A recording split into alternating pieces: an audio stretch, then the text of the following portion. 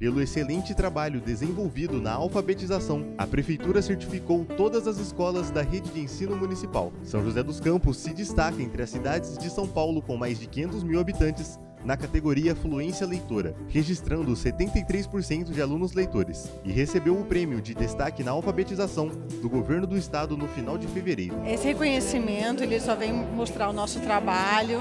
Isso é muito gratificante para gente. E mais gratificante ainda é uma alegria de ver esses alunos crescendo e adquirindo esse conhecimento, eles vão utilizar isso para o resto da vida. Um dos frutos deste belo trabalho é o pequeno Joaquim, que representou os colegas ao ler um texto coletivo de sua turma durante o evento. Como é que foi para você, aprender a escrever? Foi legal, porque eu pude ler o meu nome, escrever meu nome, ler um